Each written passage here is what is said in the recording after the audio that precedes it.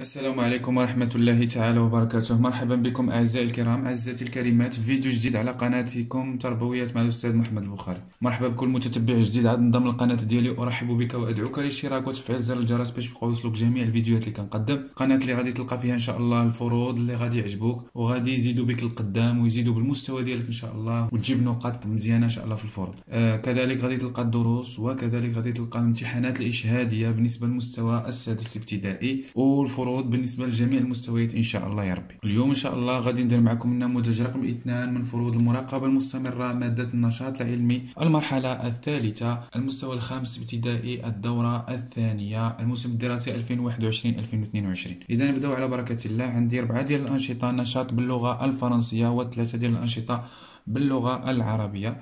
النشاط الأول هو هذا la première activité هو هذا على ثلاثة ديال النقط je considère les mélanges eau plus sel donné dans le tableau ci-dessous. Je complète ce tableau par les valeurs des masses manquantes. Donc, اعتبر شنو كنعتبر؟ هاد الخليط les mélanges ديال اش الماء والملح donné dans le tableau ci-dessous اللي كاينين هنايا هنايا ال masse d'eau يعني كتلة الماء هنا masse de sel يعني كتلة الملح. هنا masse de mélange يعني كتلة الخليط. donc ال question هو هذا السؤال je complète ce tableau par غادي نكمل هذا الجدول باش par les valeurs des masses manquantes بالقيم ديال الكتلة اللي ما كايناش يعني المفقوده هنايا.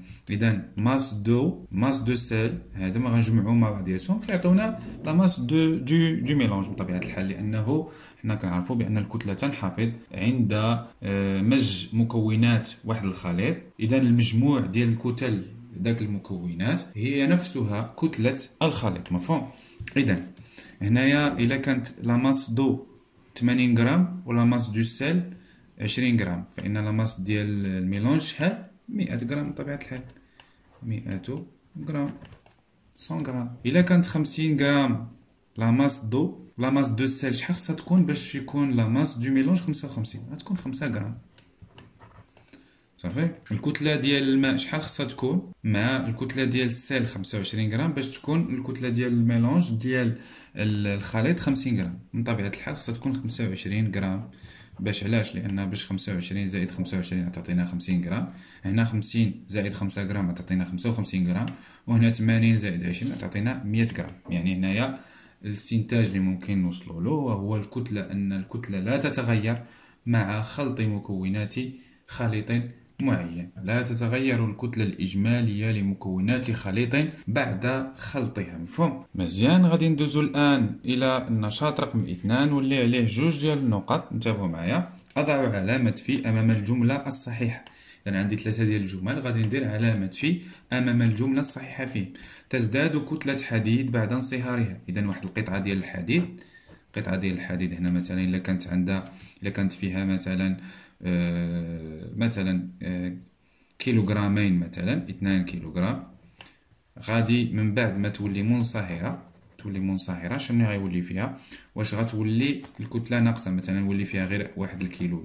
هذه عبارة خاطئة بطبيعة الحال. دوزو العبارة الثانية تنقص كتلة حديد بعد انصهارها. إذا من بعد ما تنصهر عاوتاني هاد القطعة ديال الحديد غادي تنقص. هنايا قلنا غادي تزاد. يعني يولي 3 كيلوغرام لا واش يمكن لها ترجع 1 كيلوغرام؟ لا صافي؟ اذا العبارة الصحيحة بطبيعة الحال هي لا تتغير قطعة حديد بعد انصهارها. صحيح.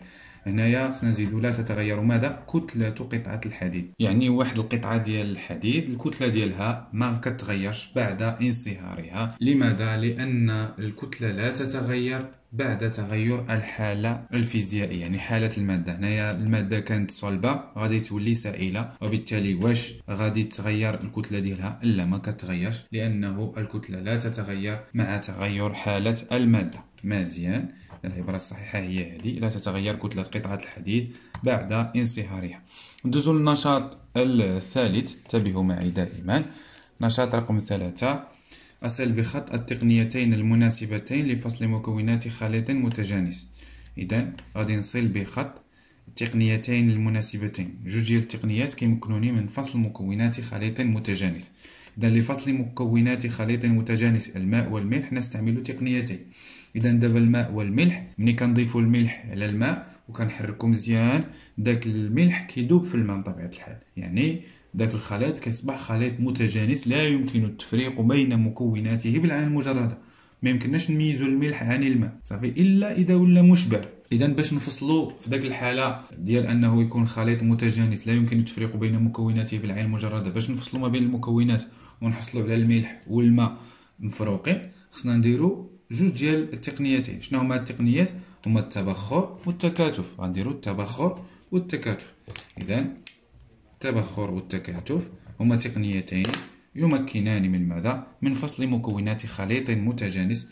أما بينما التصفيق والترشيح كيمكننا من آه، فصل مكونات خليط غير متجانس. غير متجانس. كيمكنو من فصل مكونات خليط غير متجانس. ندوزو للنشاط الرابع والأخير. انتبهوا معي دائما. نشاط صحيح أو خطأ. عليه جوج ديال النقاط كذلك.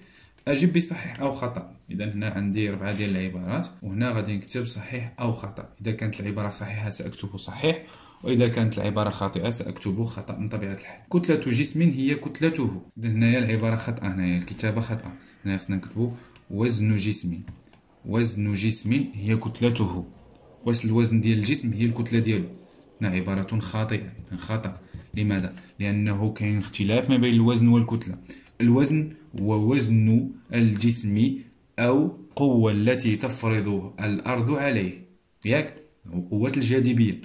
بينما الكتلة هي كمية مادة الجسم كمية مادته. بالنسبة للكتلة الوحدة ديالها هي الكيلوغرام ولا الجرام بينما الوزن ديال الجسم الوحدة ديالو هي النيوتن ويحسب بالدينامو متر. بينما الكتلة تحسب بالميزان العبارة الموالية التبخر هو تقنية فصل مكونات خليط متجانس. التبخر كيمكننا من فصل مكونات خليط متجانس صحيح. لأنه بطريقة ديال التبخر كان يتمكنه من فصل مكونات خليط متجانس بحال مثلا بحال خليط الماء والملح الماء والسكر إلى غير ذلك. يمكن تسريع الذوبان بالتحريك فقط. إذا واش يمكننا نسرعوا الذوبان فقط بالتحريك؟ يمكننا نسرعوا الذوبان ديال واحد الجسم صلب مثلا في واحد السائل بالتحريك وكذلك ورفع درجة الحرارة. صافي الحرارة. وبالتالي هنايا هاد العبارة هذه خطأ.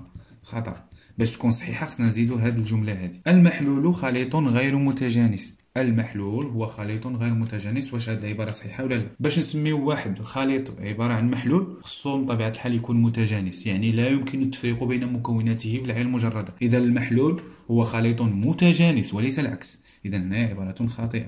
خطأ. المحلول خليط متجانس وليس غير متجانس مفهوم؟ وبهذا غادي نكون كملت لا فيديو ديال اليوم اللي كان كيخص فرد من فروض المراقبة المستمرة مادة النشاط العلمي المستوى الخامس ابتدائي الموسم الدراسي 2021 2022 النموذج رقم 2 كنتمنى أنكم تزيدوا تدعموا قناة تربويات مع الأستاذ محمد البخاري بالاشتراك والضغط على زر الجرس. باش يوصل لكم جميع الفيديوهات اللي كنقدم كنت معكم أنا الأستاذ محمد البخاري والسلام عليكم ورحمة الله تعالى وبركاته.